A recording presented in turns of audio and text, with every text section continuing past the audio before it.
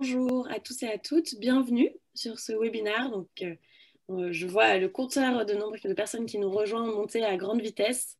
Euh, je vais attendre une petite minute pour démarrer ce webinaire, le temps que tout le monde nous rejoigne. Bienvenue à tous et à toutes pour euh, ce webinaire sur de regard croisé entre un investisseur et un entrepreneur sur la place de la mission comme un actif stratégique dans l'entreprise. Je suis ravie de vous retrouver ce matin. Bonjour Nicolas. N'hésitez pas à, utiliser euh, le chat pour euh, dire quelques mots euh, le temps que tout le monde se connecte.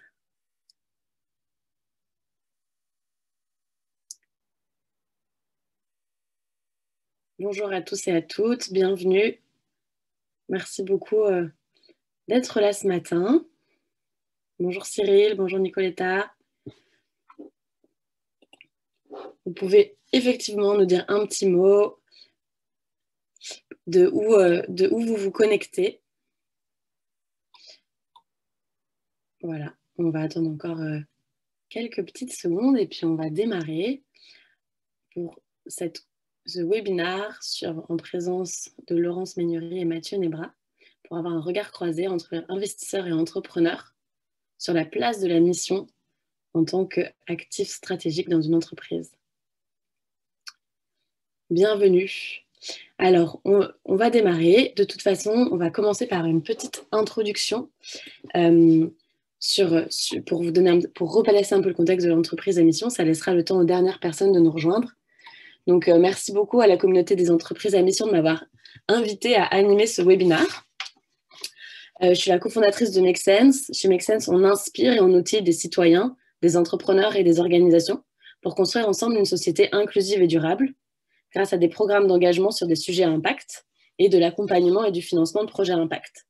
Et pendant ce webinaire, j'aurai le plaisir d'animer des échanges avec Laurence Meignery, qui est la cofondatrice de Citizen Capital, et, et Mathieu Nebra, qui est le cofondateur d'Open Classroom, qui vont nous donner leur regard croisé d'investisseurs et d'entrepreneurs sur la place de la mission en tant qu'actif stratégique dans une entreprise. Avant de leur donner la parole, je vais euh, replacer un petit peu le contexte de l'entreprise, de ce qu'est l'entreprise à mission. C'est un webinaire qui est organisé par la communauté des entreprises à mission. Cette communauté des entreprises à mission, elle est née de la conviction que les entreprises ont un rôle essentiel pour relever les défis sociétaux du 21e siècle. Et du coup, la, société la communauté des entreprises à mission elle mobilise les acteurs qui aspirent à expérimenter le modèle de la, société à mission, à le promouvoir et à le déployer.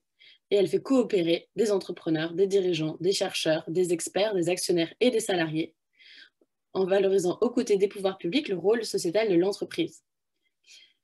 Euh, donc, pour vous juste redonner deux, trois euh, éléments sur qu'est-ce que c'est l'entreprise à mission. Euh, donc, l'entreprise à mission, elle a été actée par la loi Pacte, qui a été promulguée le 22 mai 2019.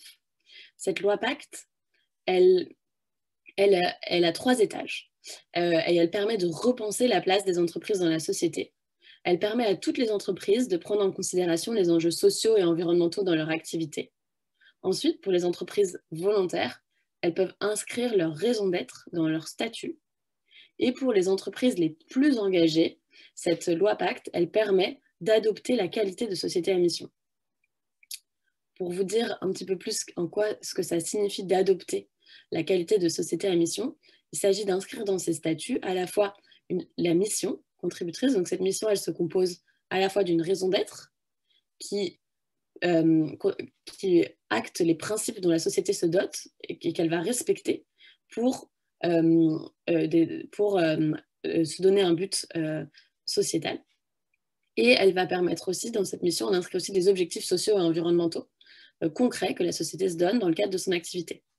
Elle permet aussi à l'entreprise de se doter d'une gouvernance protectrice, donc un comité de mission, qui va être en charge de suivre l'exécution de la mission et qui va présenter annuellement un rapport euh, qui, va permettre euh, de, de, de, déterminer les moyens mis en œuvre par la société pour aller pour euh, exécuter sa mission. Et enfin, la, société à mission met en place un dispositif d'évaluation, donc un organisme tiers indépendant qui vérifie tous les deux ans que l'entreprise est bien en train d'exécuter les objectifs sociaux et environnementaux qu'elle s'est donnés. Et c'est une qualité qui est révocable. Si les objectifs ne sont pas, si les conditions ne sont pas respectées, il est possible de perdre sa qualité de société à mission.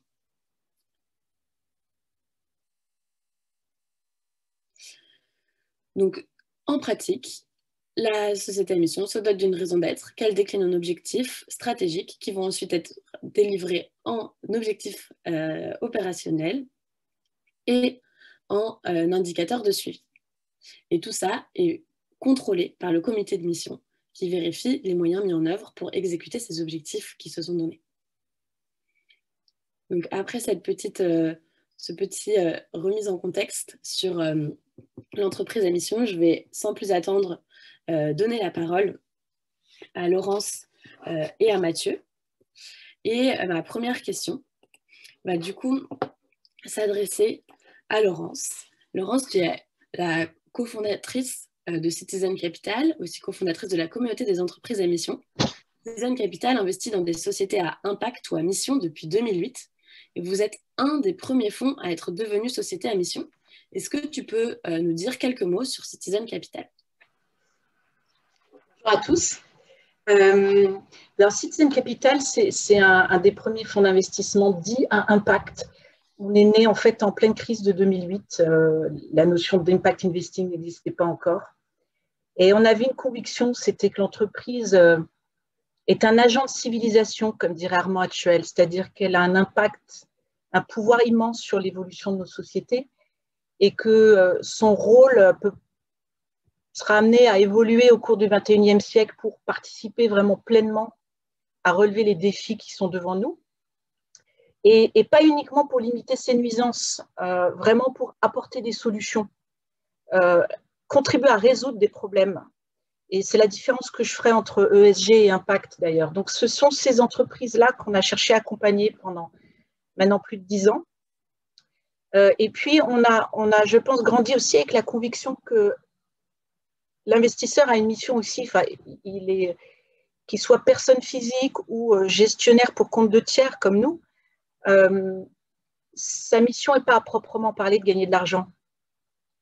Et elle est, elle est aussi de faire avancer le monde. Et je pense qu'on a évolué avec la conviction que le profit, la rentabilité, c'est des choses important, voire indispensable, mais que c'est un moyen, ce n'est pas une fin. Et, chacun a, sa vision de ce que veut dire euh, faire avancer le monde.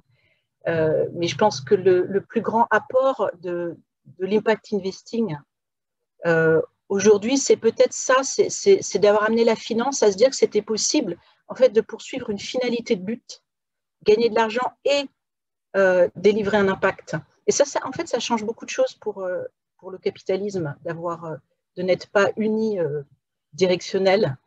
Euh, euh, et, en fait, vous, contribuez à élargir la notion de, ce qu'on appelle obligation fiduciaire, c'est-à-dire que vous servez les intérêts, par exemple, nous, on sert les intérêts de nos porteurs de part.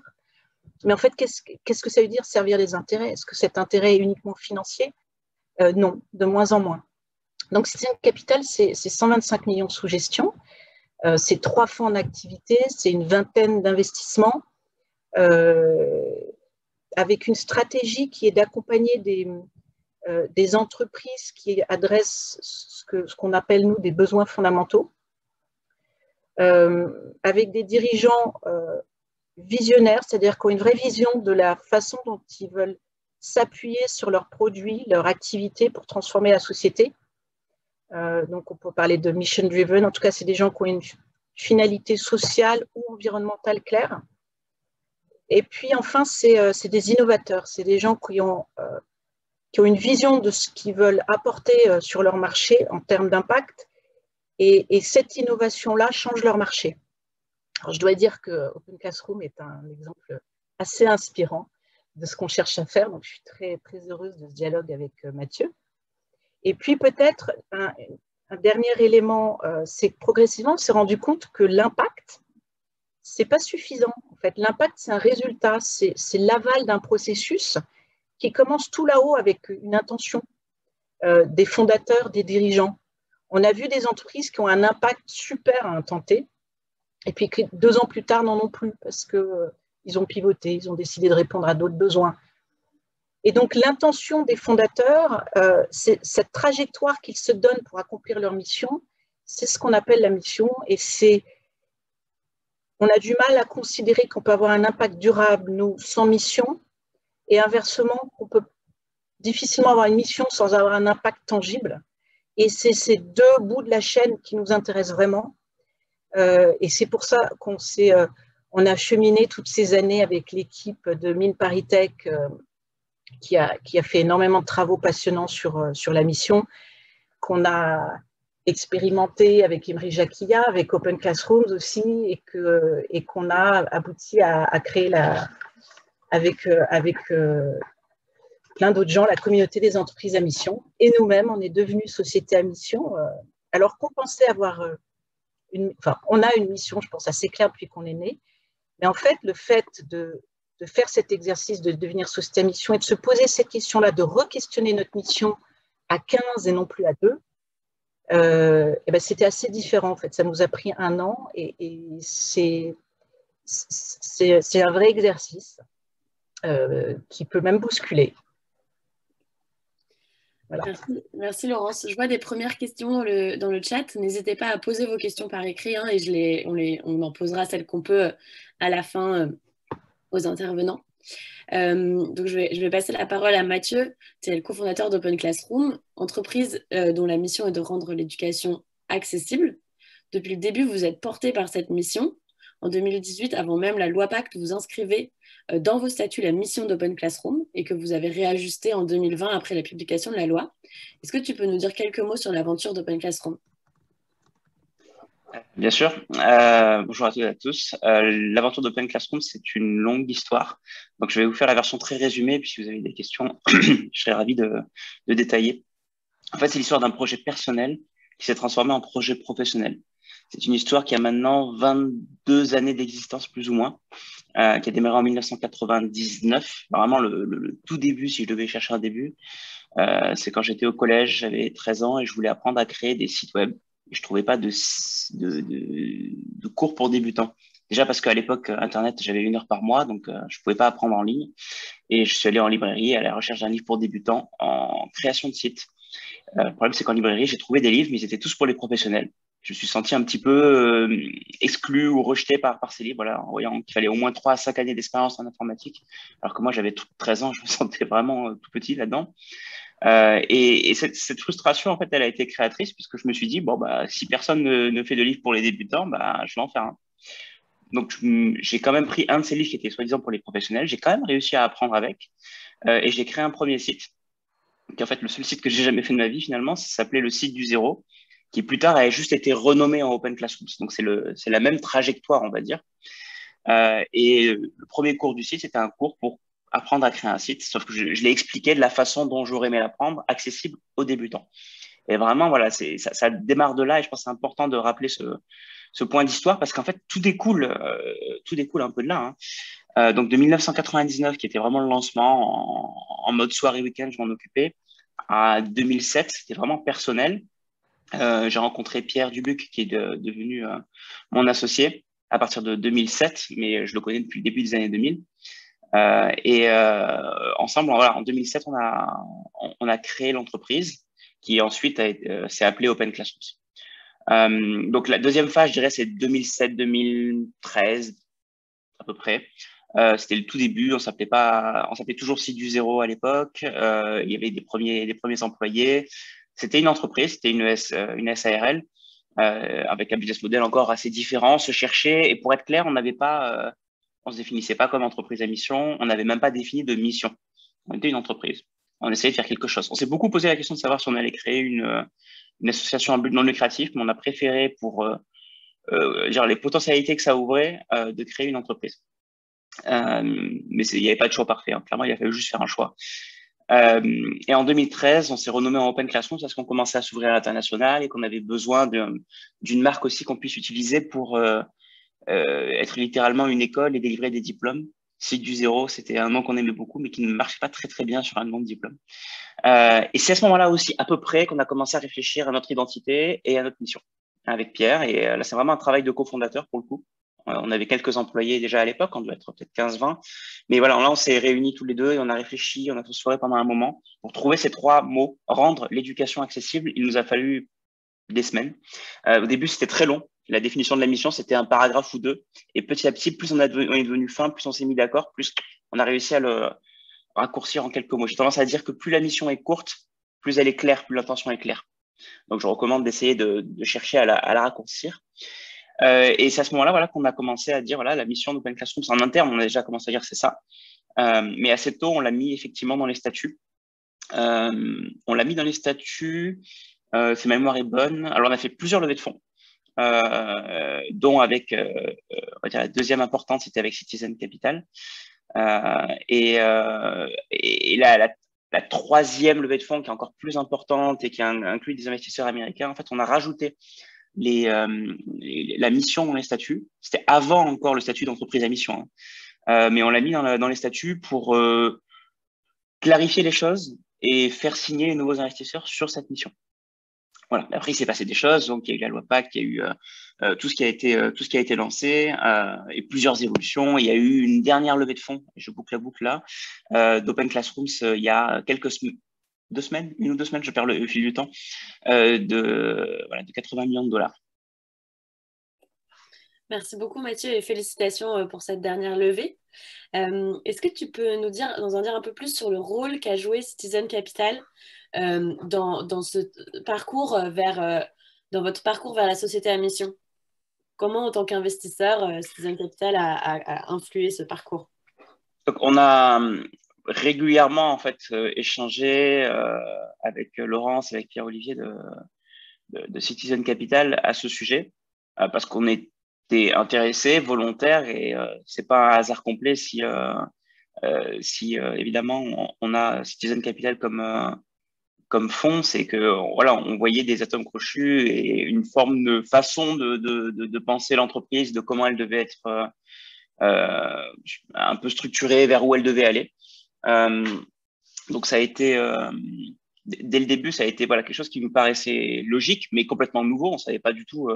Pour nous, c'était assez inconnu, on va dire, de certaine façon le le, le fonds d'impact investing, il fallait encore qu'on comprenne ce que ça voulait dire, ce que ça signifiait, c'était quoi le, la, différence dans une relation avec ce, type d'investisseur.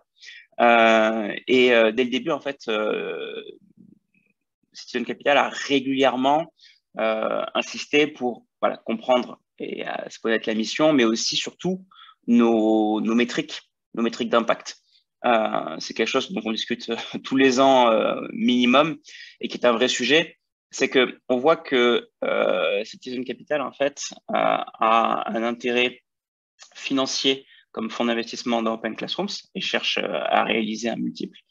Euh, dans le même temps, euh, Citizen Capital s'intéresse aussi à l'impact que fait Open Classrooms et euh, produit de son côté, euh, tu pourras peut-être mieux en parler que moi, Laurence, mais produit des rapports et a besoin d'informations qui ne sont pas juste le chiffre d'affaires, euh, la marge brute, euh, la marge opérationnelle, etc., qui sont des choses que, encore une fois, j'assisterai autant que nécessaire, absolument essentielles à la, bonne vie d'une entreprise. C'est pas euh, faire le bien, avoir de l'impact et laisser l'argent de côté. Il faut être rentable. La rentabilité, c'est bien, c'est même juste la vie.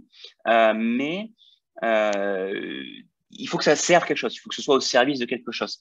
La finance pour la finance, Bon, ça existe, hein mais, euh, mais dans ce cas-là, euh, regardez le loup de Wall Street ou des trucs comme ça pour, euh, pour vous inspirer. Mais, mais c'est un peu creux, on va dire. Euh, normalement, une entreprise essaie de faire quelque chose quand même. C'est juste que dans le cadre des entreprises à mission, en fait, on commence à faire remonter cette information-là au même niveau qu'un bilan. C'est ça, en fait. L'idée, je pense, et une, une des finalités, euh, on n'est pas encore arrivé, c'est que quelque part, il faudrait que l'impact d'Open Classrooms ou d'une entreprise à mission apparaisse à un niveau équivalent ou très proche sur un même tableau euh, que celui du bilan. Donc, il y a des euros, il y a des, il y a des pertes, il y a des bénéfices, et en même temps, pour Open Classrooms, il y a le nombre d'emplois créés. Il y a euh, l'amélioration du salaire et donc de la qualité de vie des gens qu'on a pu créer grâce à nos formations. Nous, c'est comme ça qu'on le mesure. C'est juste plus complexe à définir parce que selon l'entreprise, l'impact n'est pas le même. Alors que le chiffre d'affaires, la marge, etc., tout le monde connaît, c'est simple, c'est standardisé. mais voilà, en, ce qui nous concerne, si on avait un chiffre à retenir, une mesure qu'on va, chercher à suivre, c'est le nombre de personnes qu'on aide à trouver un emploi grâce à nos formations qui sont souvent du, reskilling, de l'upskilling, euh, qui font que les gens vont changer de métier. Et notre objectif en 2025, c'est d'aider un million d'étudiants dans le monde à trouver un emploi grâce à Open Classrooms. Donc voilà, on mesure, on, cherche à, aller vers cet objectif, qui est un gros objectif évidemment, euh, mais ça nous, ça nous aligne en fait. Ça nous aligne euh, avec Citizen Capital, ça nous aligne avec les salariés, ça nous aligne avec notre investisseurs, ça nous aligne avec les pouvoirs publics, ça nous aligne avec toutes les personnes avec qui on parle dans l'entreprise. Et ça aide énormément à la clarté, j'ai envie de dire. Hmm. C'est super intéressant, merci beaucoup. Donc, effectivement, on voit que dans l'entreprise à mission, on pilote euh, autant euh, par, euh, les indicateurs d'impact que par les, indicateurs financiers. Et c'est très intéressant de, commencer à avoir ce double, ce double pilotage. Laurence, en tant qu'investisseur, pourquoi est-ce que pour vous, pour vous c'est important de protéger la mission en devenant par exemple officiellement une société à mission comme Open Classroom? Qu'est-ce que, voilà, par rapport à des entreprises qui se disent impact, pourquoi est-ce que pour vous c'est vraiment important ce statut de société à mission qui vient protéger la mission? Et le micro est coupé, Laurence.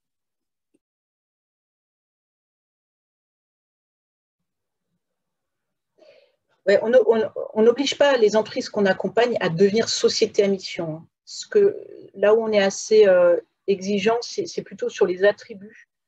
Si quelqu'un ne veut pas passer, euh, déposer sa mission au greffe, hein, on va pas. Euh, en revanche, on, est, on, est, on est absolument convaincu que le fait de formaliser sa mission, les objectifs qui lui sont associés, euh, de se projeter dans le temps, c'est-à-dire que de dessiner une trajectoire sur les, impacts qu'on veut voir dans l'accomplissement de cette mission, c'est extrêmement sain. Enfin, on fait, ça, on fait ça tous les jours avec des business plans financiers. Et dire à des dirigeants, mais projetez-vous, à 5 ans, on va vivre une histoire ensemble. C'est quoi l'ambition que vous avez? C'est quoi l'ambition qu'on a envie de se donner en commun? Et ça, nous, l'annexe au pacte d'actionnaires. Ça fait vraiment partie du projet euh, pour lequel on investit. C'est la, thèse d'investissement, elle est liée à, un business plan financier et ce qu'on appelle, nous, euh, un business plan impact, ce dont parlait Mathieu. Et, c'est vrai que quand, euh, quand, on a rencontré Pierre et Mathieu, je me souviens qu'ils avaient déjà une, une, mission qui était extrêmement claire, hein, qui était déjà de rendre l'éducation accessible et puis de permettre aux gens d'être, de devenir ou de redevenir ou de rester employables. Euh, et, et, nous, c'est quand on les a rencontrés, c'est ça que je pense qu'on avait essayé de challenger, de comprendre vraiment qu'est-ce que ça voulait dire pour eux, être accessible. Et, c'est à partir de là qu'on se dit, bah, donc ça veut dire qu'il faut le rendre tangible dans le temps. Comment est-ce qu'on a envie de le rendre tangible? Et, euh, d'ailleurs, on a encore des discussions là-dessus. Et ce que, ce, que, ce que je pense, par rapport en 2016, quand on vous a rencontré, Mathieu et Pierre, et en maintenant, il y a deux choses dans le fait d'avoir formalisé votre mission, et euh, je parle sous ton contrôle, Mathieu, dis-moi si tu es d'accord, mais quand, ils sont venus, c'était, comme disait euh, Mathieu, c'était dans leur tête, c'était vraiment une affaire de fondateur. Et en fait, ce qui s'est passé sur ces cinq ans, c'est qu'elle euh, est aujourd'hui portée par les équipes, elle est diffusée dans tous les aspects opérationnels de l'entreprise, dans la façon dont Open Classroom recrute, euh, et Dieu sait qu'ils recrutent, hein, ils sont passés d'une trentaine quand on est arrivé à plus de 300 maintenant. Dans son modèle économique qui est fondé sur un, produit et pas une prestation, ce qui est un vrai choix pour, euh, pour un, modèle dans la formation, euh, dans la façon dont Open Classroom construit sa marque, enfin dans tous les aspects, en fait, la, mission est présente et elle s'est diffusée progressivement. Et aujourd'hui, quelqu'un qui rentre chez Open Classroom, il rentre en étant, que je comprends, en étant capable aussi de prendre des décisions par rapport à cette mission. Et ça, en fait, euh, moi, le sentiment que j'ai, ce que je trouve très intéressant chez Open Classroom, c'est que j'ai le sentiment que la mission est en train de rentrer dans la culture de l'entreprise, voire peut-être elle l'est vraiment déjà, enfin Mathieu saura mieux que moi. Ouais. Et, et, pour nous, c'est notre objectif, c'est-à-dire quand on investit, vraiment, la réussite pour nous, le, facteur de succès, c'est est-ce que la mission peut imprégner la culture de l'entreprise Parce que quelle meilleure protection Tu parlais de protéger. J'utilise pas tellement ce terme-là, moi, en fait. Mais c'est, je pense, la meilleure protection qu'on puisse imaginer, bien meilleure qu'un, statut même. que je, confirme qu'effectivement, euh, c'est un travail de longue haleine. C'est-à-dire que la mission, on a commencé à en parler, les gens commencé à se l'approprier, etc. Mais là, vraiment, euh, quand on recrute, les gens connaissent la mission, connaissent la vision, connaissent l'objectif de 1 million en 2025 euh, et, et, poussent tous ensemble à l'intérieur de la boîte dans, dans, cette direction-là. Maintenant, on devient plus gros, donc chaque personne a un plus petit rôle dans l'ensemble. Mais malgré tout, ça crée une dynamique et une force d'avancer ensemble, je, je confirme, mais qu'on peut pas inventer du jour au lendemain. Nous, ça fait euh, six ans, sept ans peut-être qu'on qu'on doit rabâcher ça tous les jours, qu'on en parle, qu'on le met en KPI. Quelqu'un qui posait dans le chat des questions sur le KPI. Euh, oui, c'est euh, notre KPI. on, a, on a trois KPI principales dans l'année chez Open Classroom. C'est le nombre de personnes qui ont trouvé un emploi cette année, c'est notre chiffre d'affaires et c'est la satisfaction des employés, le INPS, Employee NPS. trois, c'est simple, mais c'est un triptyque et il y y a un lien avec tout ça. Et donc ça, ça ça, c'est des années de travail pour en arriver là encore, hein, pour dire que c'est vraiment ces KPI, qu'il n'y en a pas 150 et qu'il n'y a pas 12 000 métriques, que ça, c'est vraiment comme ça qu'on veut le mesurer, etc. donc maintenant, ça aide. De là à dire que c'est une protection, euh, c'est une forme de protection, mais ça ne protège pas tout. Après, il y a un élément, et c'est là que le, statut de société à mission vient jouer un rôle, je pense, mais pas seulement. Il y a un élément euh, évidemment actionnarial. Euh, il faut que les actionnaires soient alignés. Il faut bien choisir ses actionnaires si on a la, si on a la chance et le luxe de pouvoir le faire, il faut trouver des gens qui comprennent ça et c'est un travail de tous les instants euh, de, s'assurer que les actionnaires comprennent, ont cette envie euh, et partagent ces, points de vue et c'est c'est jamais gagné. Et pourtant, je voudrais insister, c'est qu'au-delà de Citizen Capital qui a ce statut-là, qui est labellisé B Corp, etc., donc qui est vraiment euh, une forme d'ovni finalement par rapport aux autres investisseurs, euh, dans les investisseurs qu'on a choisis chez Open Classroom, on a fait attention à ce que ce soit clair dès le début que la mission, elle était dans les statuts, qu'on était en train de devenir société à mission, que Bicorp, ça nous intéressait. Euh, et on en parle très tôt. Et, euh, et donc, ça aide, en fait. C'est juste, c'est un, un, travail d'alignement constant. Mais je voudrais bien aussi dire que parmi nos investisseurs, en fait, euh, il n'y a pas que Citizen Capital qui s'intéresse à ça. Citizen Capital est moteur. Citizen Capital demande des rapports, demande des chiffres, que les autres ne demandent pas effectivement, euh, mais sont très intéressés d'avoir. C'est très différent. Euh, donc, euh, on ne peut pas juste opposer le bon et le mauvais capitaliste dans cette histoire. J'aimerais aussi qu'on coupe un petit peu ce genre de d'image d'épinal. Il y, a des gens très mauvais dans le capitalisme, il y a des gens très mauvais sans aucun doute partout dans le capitalisme comme parmi les entrepreneurs, mais mais il y y a plein de gens dont on ne pourrait pas penser, mais c'est le cas. Ils s'intéressent vraiment à ce qu'une entreprise ait un impact positif dans le monde. Ils veulent juste que tu plantes pas ta boîte, donc que tu sois, euh, que tu ailles vers la rentabilité ou que tu sois rentable. Euh, et, ils veulent aussi faire euh, un multiple financier parce qu'ils veulent pas perdre l'argent qu'on leur a confié. C'est légitime, mais à partir de là, ils sont, je l'entends de plus en plus, je le sens de plus en plus, ils sont intéressés par cet impact social, même ceux qui ne sont pas des fonds d'impact investing. Je voulais le dire. C'est très vrai, évidemment, et, on le voit, enfin, la suscite ce type de démarche aujourd'hui. Euh, tu as raison, Mathieu. Et il y, a une autre chose que, je, vois comme évolution, qu'apporte la mission, c'est chez Open Classroom et chez d'autres, c'est la, la, notion de trajectoire. C'est euh, euh, je regardais votre, votre rapport de mission d'impact de l'année dernière c'est explicite que, euh, que, les produits pédagogiques d'Open Classroom veulent être accessibles, veulent être accessibles en priorité à des, personnes euh, défavorisées. Euh, et il y, a une volonté dans le temps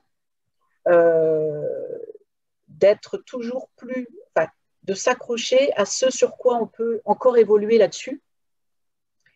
Euh, et, c'est vrai que chez Open Classroom, l'accessibilité, elle est très incarnée. Euh, euh, et nous, c'est ce qui nous avait frappé au tout début. Dans les commentaires, c'est-à-dire qu'on peut prendre la première brique de, chez Open Classroom, il n'y a, a, aucun prérequis d'éducation, de formation. Ce qui veut dire, et nous, je pense que c'est un des KPIs qu'on pousse beaucoup sur Open Classroom, c'est leur capacité à former des gens peu ou mal qualifiés, et ceux pour qui le besoin d'employabilité est le plus, est le plus critique. Et, les, et, les, années avançant, on constate que Open Classroom est de plus en plus attaché à cette dimension dans leur, dans leur modèle économique, dans leur façon d'avancer, dans les, ambitions qu'ils projettent, etc. Euh, donc ça, ça euh, euh, je pense que là, en fait, c'est le fait de formaliser quand même qui aide à, poser cette, cette, trajectoire, de se dire, ben, en fait, je veux arriver là. Ça ne veut pas dire qu'on va y arriver, en fait. Et le, le sujet essentiel n'est pas d'arriver, comme dans tout business plan, en général, on se plante d'ailleurs, mais c'est de le formuler, c'est de l'exprimer, c'est de le partager avec les parties, avec les salariés, c'est que ça fasse partie du projet de l'entreprise. Mm. J'ai une question pour vous qui recoupe pas mal de questions qu'on voit euh, dans le chat.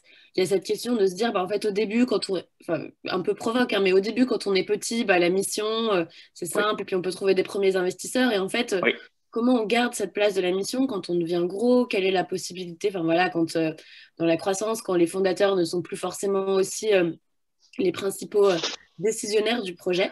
Je serais intéressée de vous entendre tous les deux sur vous, la perspective que vous avez de cette place de la mission et des indicateurs d'impact quand euh, l'entreprise grandit. Alors, j'ai plusieurs trucs à dire par rapport à ça, mais évidemment, quand on est euh, tout petit, on vient de se créer, etc., c'est plus facile de se pavaner avec une mission et, de dire on est une société à mission on va changer le monde quand on commence à avoir euh, plus, de, plus de poids, plus de monde, euh, plus d'actionnaires, euh, l'alignement demande plus de travail. C'est déjà une évidence. Voilà, ce que je disais tout à l'heure, il faut le travailler au quotidien, il faut s'assurer qu'on parle le même langage, etc. Mais je ne crois pas qu'il y ait de mauvaise volonté de façon générale. Il y a, peut-être des gens qui s'y intéressent pas, mais qui ne sont pas dans l'évitement non plus. globalement, il y, a, euh, y a une forme de consensus ou une direction, en tout cas, qui est prise de plus en plus. Dans ma génération, les nouvelles générations, je vois les entrepreneurs notamment, euh, ils, ont envie de ça. En fait, ils n'ont pas envie de, de, de, juste faire un coup euh, d'entreprise financière. Il y, en a, il y en a toujours, il y a des exceptions et, euh, et très bien, mais c'est pas, pas la majorité de ce que je ressens, de ce que j'observe dans ma nouvelle génération d'entrepreneurs. Maintenant, est-ce qu'on peut être une grande entreprise et une société à mission euh, je, comprends que la question soit légitime parce que c'est juste plus complexe avec plus d'acteurs autour de la table. Quand on est notamment une entreprise publique qui est donc euh, en bourse, les indicateurs financiers sont souvent très court-termistes. Or, une entreprise à mission euh, poursuit cette mission sur le long terme et doit accepter parfois de faire moins, moins de résultats, moins de profits à court terme. Mais je suis convaincu alors littéralement convaincu, que cette entreprise fera plus de profits, plus de résultats financiers à long terme parce qu'elle est restée société à mission. C'est juste qu'il faut euh, savoir tenir bon dans, dans, dans, la tempête, dans une certaine mesure. C'est ça le challenge. Euh, maintenant, euh, société à mission, c'est un statut qui est récent et spécifique à la France, mais vous trouverez des comparables, ne serait-ce que dans le label B Corp. Euh, et là-dedans, il y a des grandes entreprises. Ben Jerry's, euh, Patagonia, euh, Camif en France, euh, Nature et Découverte. enfin, je veux dire, il y a, y a du monde quand même derrière. Et c'est pas des toutes petites startups de quatre, de quatre personnes. Donc, regardez-les et regardez comment elles font. questionnez-les, envoyez-leur un message. Elles sont en général ravies de vous répondre, d'en parler parce que finalement, ça reste un, un, nouveau monde. Donc, elles ont, elles ont besoin d'en parler. Donc, ça existe. c'est possible. C'est un challenge. Et euh, dans cette histoire, on voit souvent ce que l'on veut voir, c'est-à-dire l'opposition euh, du capitalisme qui est euh, par nature, on se dit purement financier, et des gentilles personnes qui veulent faire le bien à la planète et qui veulent avoir de l'impact. Et j'insiste, je pense que cette vision manichéenne du monde est dangereuse. Elle, est simpliste en tout cas. Elle est simpliste. Et, vous êtes plusieurs à, avoir évoqué sur le chat le cas de Danone dont on a beaucoup parlé récemment parce que son ancien CEO voulait voilà, voulait euh, labelliser progressivement euh, Bicorp, être entreprise à mission. Il était très très, très actif là-dedans. Et il s'est fait débarquer, notamment par des, des fonds qui sont arrivés voilà, récemment. Donc, ça laisse à entendre que les fonds d'investissement, finalement, ne cherchent que le profit et ça les a dérangés et donc ils ont préféré débarquer le CEO. Je pense dans cette histoire, sans être un expert de l'histoire, et d'ailleurs peut-être que Laurence, tu voudras compléter, mais il y a un truc que on a, dont on n'a pas assez évoqué, à mon avis, dans la presse, c'est que Danone s'était fixé des objectifs.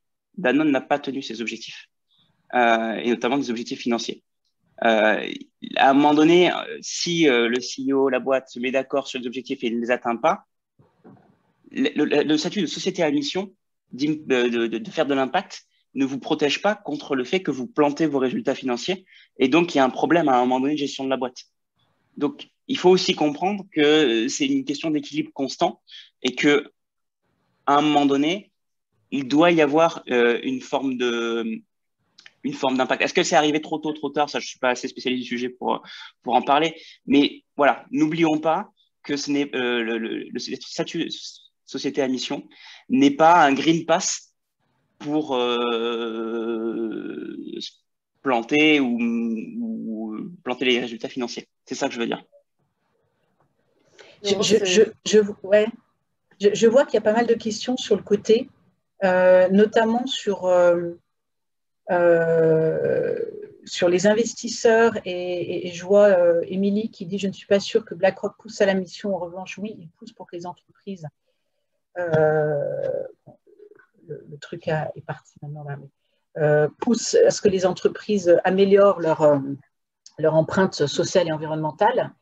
il y avait quelqu'un d'autre qui demandait Mais qu'est-ce que c'est finalement la différence entre SG et impact euh, donc en fait, je me décale un tout petit peu par rapport à ce que tu disais, Mathieu, mais euh, euh, c'est vrai qu'en ce moment, il y, a, une certaine confusion entre qu'est-ce que, qu'est-ce que ça veut dire l'impact, la mission, le SG.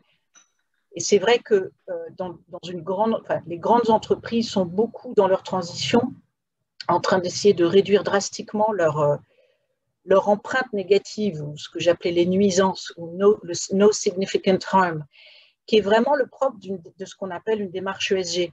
Et c'est vrai qu'on a tendance maintenant à tout mettre dans le vocable d'impact. Euh, en fait, euh, l'ESG reste pour moi ultra important comme démarche, c'est-à-dire c'est vraiment réduire ces impacts négatifs. Et les grandes entreprises, évidemment, parce qu'elles sont grandes, en ont beaucoup, en tout cas plus que les petites, et donc il y a un énorme travail pour elles de transition vers la limitation de leurs impacts.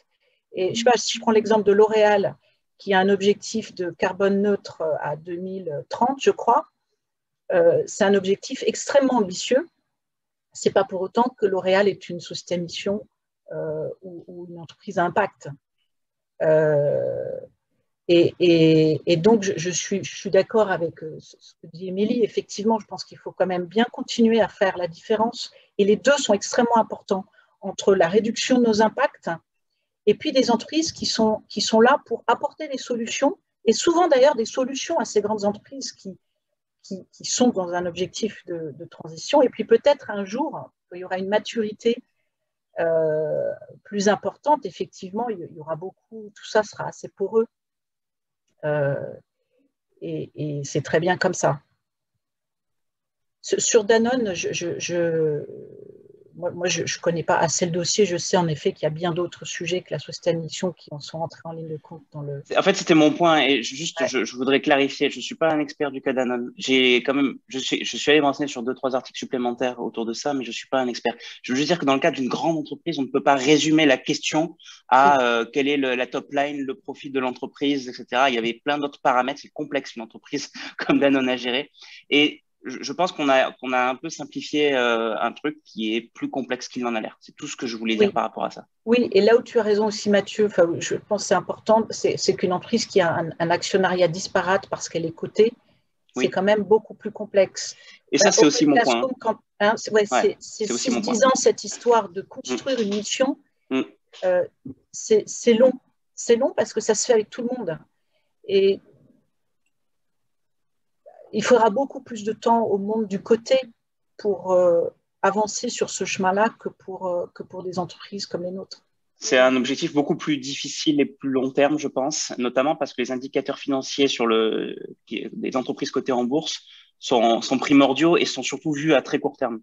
Et enfin, sont généralement vus à court terme en tout cas. Donc c'est difficile d'expliquer euh, un, une volonté de, creuser euh, les profits à court terme pour pouvoir rebondir derrière, mais souvent c'est ce qu'il faut faire. Et ça, c'est un truc, sans être expert de ces marchés-là, que je ne vois pas encore comment résoudre avec euh, une entreprise publique. Je ne dis pas que c'est impossible, juste que c'est difficile.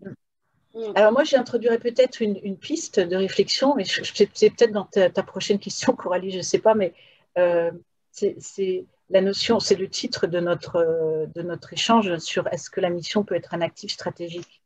C'est une parfaite transition, effectivement, vers ma dernière question. Merci, Laurence.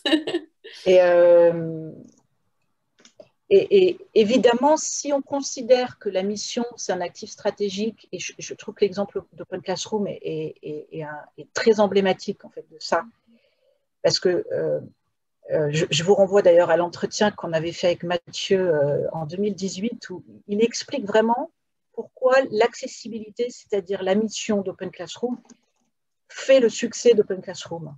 Et c'est vrai que nous, quand on investit dans une entreprise, on est convaincu que la mise en œuvre dans le temps de la mission au cœur des aspects vraiment opérationnels de l'entreprise, de sa culture, euh, est, un actif stratégique. C'est-à-dire qu'on pense qu'un acheteur futur de nos parts va acheter ça. Parce que la société le demande, les salariés le demandent, les employés y aspirent, euh, les consommateurs y aspirent de plus en plus. Donc une société qui, qui répond en fait aux aspirations des consommateurs et de ses employés quand même à, comprendre pourquoi ils se lèvent le matin, mm. euh, c'est évidemment une valeur stratégique énorme.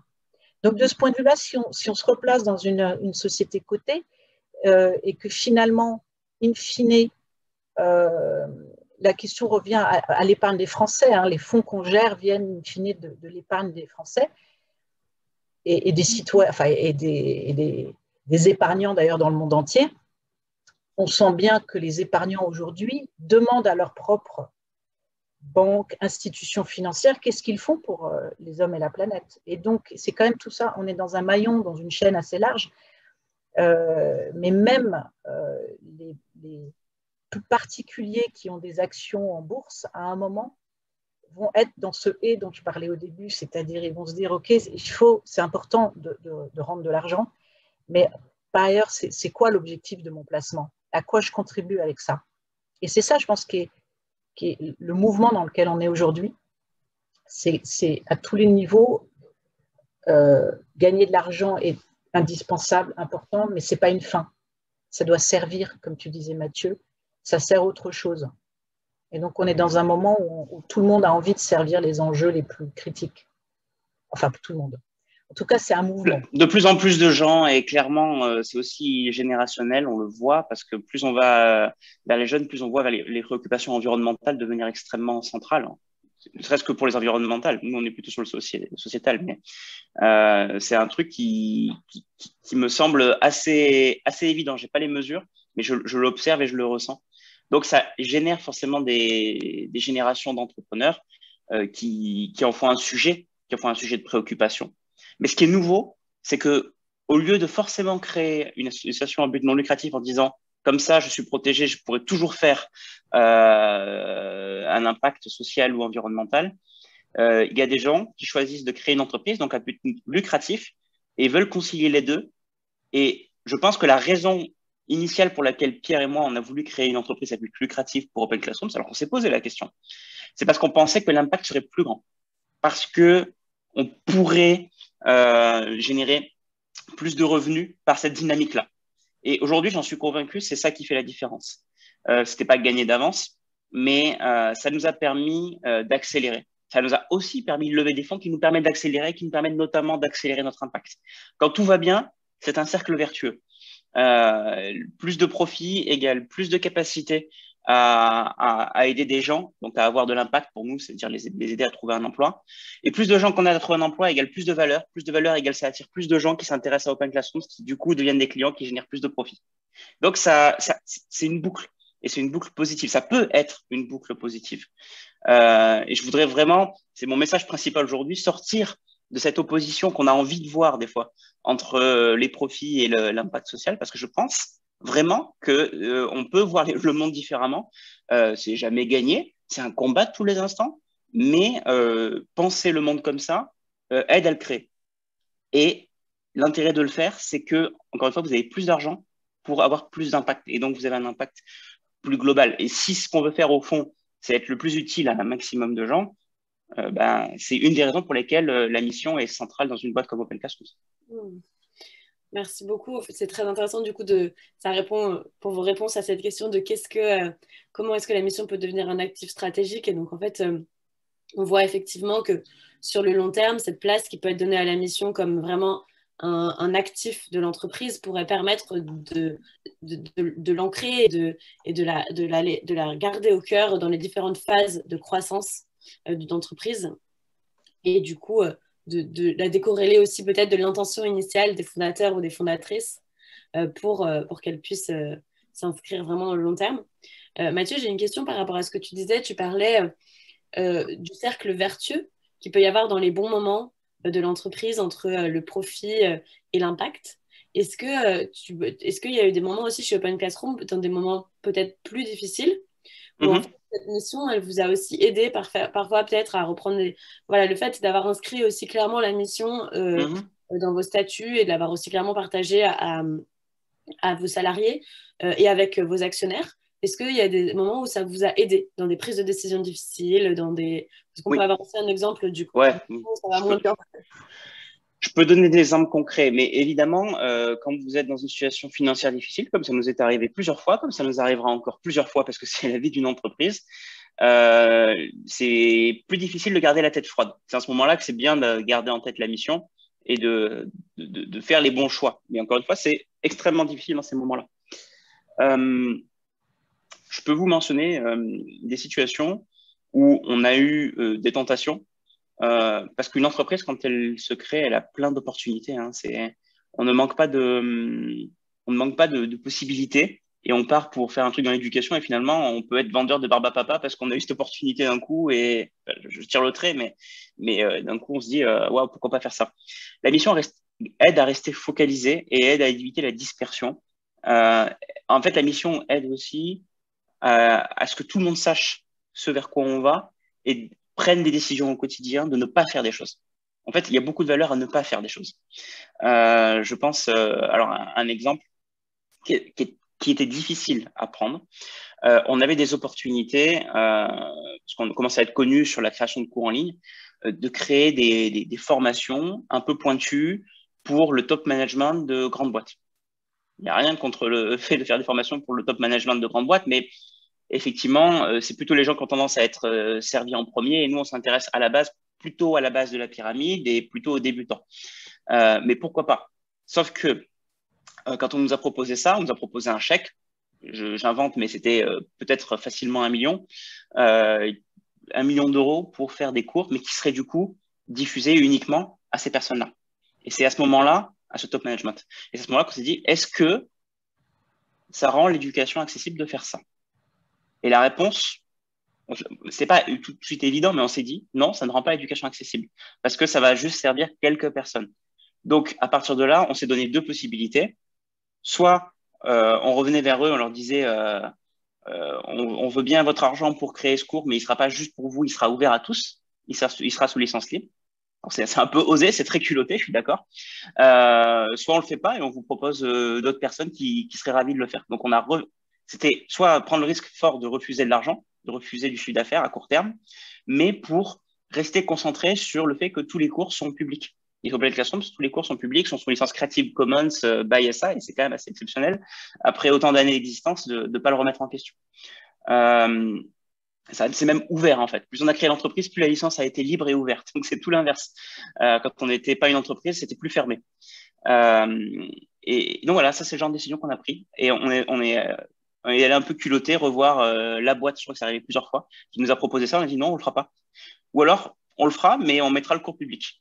Et euh, dans le lot, il y a des gens euh, qui ont dit oui, et il y a des gens qui ont dit non et qui sont allés voir, ailleurs. Et croyez-moi, ce genre d'anecdote, en fait, c'est là que la, mission joue tout son rôle. C'est quand on l'imagine comme une personne, comme s'il était assis sur une chaise à côté de vous, dans une réunion, et vous demandez à la mission, est-ce que ça sert, est-ce que ça te sert, toi, dans l'éducation accessible? Et il faut laisser un peu le temps de, de, de, de, répondre, de se répondre collectivement. Mais euh, en général, on finit par arriver à un consensus assez clair. de mon expérience. Hmm. Merci Mathieu pour cet exemple. Ça illustre beaucoup et je pense que c'est très éclairant aussi sur le poids de la mission de l'entreprise. Laurence, tu voulais réagir? Oui, je, trouve ça très important ce que dit Mathieu. J'aime beaucoup l'image de la mission assise sur une chaise aussi. en fait, c'est la notion de renoncement euh, et, je pense, et je vois dans les. En fait, je voudrais pas laisser penser qu'en fait, il y a une espèce d'automatisme entre euh, la performance et la mission et que tout ça va ensemble. Et il y a des vraies tensions.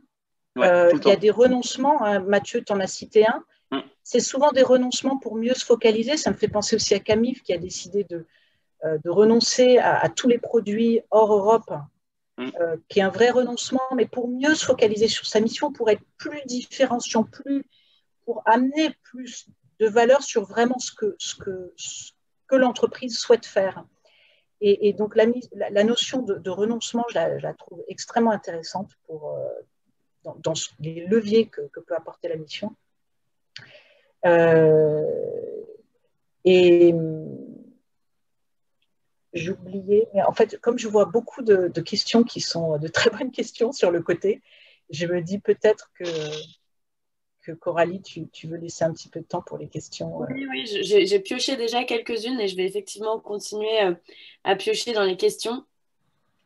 Euh, il y avait, a, y, a, une question qui est revenue beaucoup au début, qui était comment est-ce que concrètement cette mission, elle est déclinée en objectifs concrets Comment est-ce que euh, voilà, on passe euh, de cette mission à des indicateurs de pilotage de la boîte Alors pour nous, c'est très clair en tout cas, je l'ai déjà mentionné, mais je peux le répéter rapidement ici. Notre mission, rendre l'éducation accessible. De là, on a dérivé une vision qui est l'implémentation de la mission. Clairement, la mission, c'est un truc qui ne change pas, qui est inscrit dans les statuts et qui est pour la durée de vie de l'entreprise. La vision, c'est pour les 5 à 10 ans à venir. C'est comment on se concentre dans cette mission. Parce que rendre l'éducation accessible, on pourrait tout aussi bien construire des, écoles partout dans le monde. Euh, mais c'est pas ce qu'on fait. Donc, notre euh, vision, c'est de rendre l'éducation professionnalisante accessible. Donc, on veut que les gens aient un travail à la fin. Et là, de là, on a cette KPI principale qui est d'aider un million de personnes en 2025 à trouver un emploi dans le monde. Et du coup, au quotidien, qu'est-ce qu'on suit? On suit trois métriques. Nombre d'emplois qu'on a aidé à créer avec nos étudiants, chiffre d'affaires d'Open Classrooms, et euh, satisfaction employée, INPS. Et ça, c'est le pilotage. Et après, il y a des sous-métriques, évidemment, derrière. Euh, mais euh, voilà, pour nous, c'est très clair. Ça, ça, descend comme ça et ça aide énormément. Et je vais vous mettre, si vous voulez, dans le chat, un petit cours d'introduction à Open Classrooms qu'on demande à tous nos futurs employés de suivre, qui est sur Open Classrooms, parce que ça explique cette mission, cette vision et ses KPI. Donc, si vous voulez une version résumée, c'est en anglais. ça peut vous donner une, une vue d'ensemble. Je vais vous le mettre sur le chat. Nous, on a, on a quelques KPI que je pense Mathieu a appelé des sous-KPIs, qui sont des KPIs importants euh, en tant qu'investisseur. C'est comment euh, ces gens qui retrouvent un emploi et ces formations se, déclinent en termes d'accessibilité. Euh, les demandeurs d'emploi, les personnes peu qualifiées. Et nous, on, est toujours très intéressés de, de, comprendre ou de s'assurer que dans le temps, Open Classroom continue euh, de former aussi des gens qui euh, sont, par exemple, bac ou infrabac. Et on est assez épaté d'ailleurs que du, nombre de gens qui continuent d'être vraiment euh, des gens très, très peu qualifiés et pour lesquels la formation est, un enjeu critique pour, pour retrouver du, travail. Et, c'est lié aussi au fait que, que Open Classroom travaille beaucoup avec des organismes de formation, avec Pôle emploi. Avec... Donc, il y a une partie importante des étudiants qui bénéficient d'une prise en charge financière. Mm. Mais c'est intentionnel. C'est-à-dire que si on n'avait pas euh, le comité d'admission, par exemple, qui siège euh, à côté du comité d'administration dans les sociétés d'admission, euh, on n'aurait pas fait tout ce travail de fond aussi, d'analyse. Hein, toi, tu en fais partie du comité d'admission, enfin, toi et ah Pierre-Olivier. Euh, pour euh, observer, euh, mesurer avec un peu plus de recul et établir des recommandations qui nous donnent une direction et qui nous impulsent une direction, qui nous font que on va aller chercher à faire des choses que peut-être qu'on aurait fait, mais, mais moins, moins, moins, moins vite peut-être. Euh, donc le rapport d'impact d'Open Classrooms, alors il y a celui de l'année dernière qui est déjà disponible et celui de cette année qui va bientôt arriver. Il, il décrit vachement bien, je trouve, ce, ces, ces leviers et cet objectif euh, je, je, vais aussi vous le mettre dans le chat parce que ça peut vous intéresser. Euh, il, dit ça, il dit on va aller chercher les publics prioritaires qui, qui, en ont besoin. Donc on va aller chercher des réfugiés, on va aller chercher des gens qui travaillent dans les quartiers prioritaires de la ville, on va aller chercher des demandeurs d'emploi explicitement. Et ça a amené des choses très concrètes. Très concrètement, on a du coup euh, un accord avec la région Île-de-France, c'est que l'Île-de-France, mais c'est déjà un début, euh, pour euh, des places de formation qui sont financées par la région Île-de-France, de l'ordre de plusieurs milliers. et, ça, ça nous a amené à faire de la publicité pour ces formations Open Classrooms financées pour les demandeurs d'emploi. C'est uniquement pour les demandeurs d'emploi en Île-de-France. Euh, et donc, si vous avez vu en Ile-de-France des pubs pour Open Classroom, c'est ben, la conséquence du rapport de mission d'il y a un an qui disait concentrez-vous notamment sur les demandeurs d'emploi. Et du coup, on est allé chercher avec la région un, moyen de les financer. Et donc, on a fait cette campagne de pub. Et donc, on fait plus de euh, awareness, plus, plus, de, plus de travail sur la marque euh, qui amène dans cette direction-là. Et donc, on construit la marque aussi dans ce sens-là. Vous voyez, c'est un cercle vertueux. C'est pas, pas qu'on avait le plan dès le début, mais en tout cas, ça amène à ça. C'est juste un travail de longue haleine. J'ai une dernière question pour vous dans les quatre minutes qui restent, qui a été posée par euh, un participant. Est-ce qu'on peut envisager de, de formaliser, de valoriser comptablement l'impact du fait d'être société à mission sur la valeur d'une marque Et plus largement, est-ce que enfin, est-ce qu'on pourrait envisager de valoriser cette, mission dans les actifs immatériels de l'entreprise? Euh, alors, euh, moi, je suis suis pas la mieux placée pour parler de, par exemple, de tout ce qui est euh, comptabilité élargie, etc. Mais nous, on a, enfin, on, a constaté que la financiarisation de l'impact avait des limites quand même. Enfin, que il faut faire attention à tout pas à pas tout monétiser euh, et calculer des euros à, partir de l'impact, nous, on n'a jamais réussi à être convaincus, enfin à se convaincre euh, de ça. Et même, il y a des, il y a des, il y a des biais qui sont assez malsains. Euh, en fait, on est tellement dans une, on est passé dans une phase où la mesure est une imitation finalement de la mesure financière mais comme l'impact social, environnemental, c'est un peu moins le cas parce qu'une euh, tonne de CO2, c'est une tonne de CO2. Enfin, il y a un côté mathématique. Sur les objectifs sociaux, c'est quand même beaucoup plus complexe.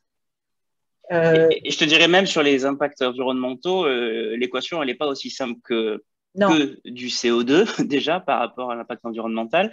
Et on a vu des abus où euh, on vend et on revend euh, des, des, bons correspondant à des tonnes de CO2 pour offsetter, pour dire qu'on est green en tant qu'entreprise, alors qu'en fait, on ne l'est pas. C'est juste, euh, on, rachète financièrement. Je dis pas que c'est mauvais d'ailleurs, hein, cette financiarisation, mais, mais en tout cas, ça n'a pas l'air d'être une solution magique qui, qui, qui, simplifie le problème. Et peut-être qu'il faut accepter aussi que certains problèmes sont complexes et c'est peut-être ça. aussi qu'on doit aller, vers quoi on doit aller. On doit accepter des, choses un peu plus complexes, un peu plus subtiles, un peu plus que le bien et le mal, un peu plus on se pose la question régulièrement et on essaie d'évaluer. Voilà, il y a plus de dimensions. Mais peut-être. Ouais, nous, on accepte le fait qu'il y ait beaucoup de dimensions. Et en fait, on regarde plusieurs choses et, donc tout ne se réduit pas. Euh, bon, à la déception de nos investisseurs qui aimeraient bien tout consolider là-haut et montrer un ou deux chiffres. En fait, c'est un peu la résistance de l'impact, et moi, je suis pour cette résistance, à ne pas tout consolider dans un ou deux items qui, vont réduire en fait la complexité qu'on adresse, la richesse qu'on a, parce que chaque cas, chaque entreprise a ses indicateurs chez nous. Et dans le social en particulier, il n'y en a pas une sur une dizaine de boîtes qui a les mêmes indicateurs sociaux.